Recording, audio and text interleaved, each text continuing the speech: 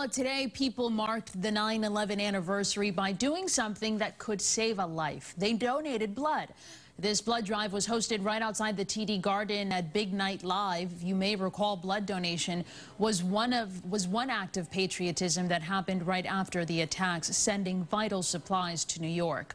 And today everyone had a different reason for donating. Year-round, the Red Cross is always in need of all blood types to ensure a reliable supply. A retired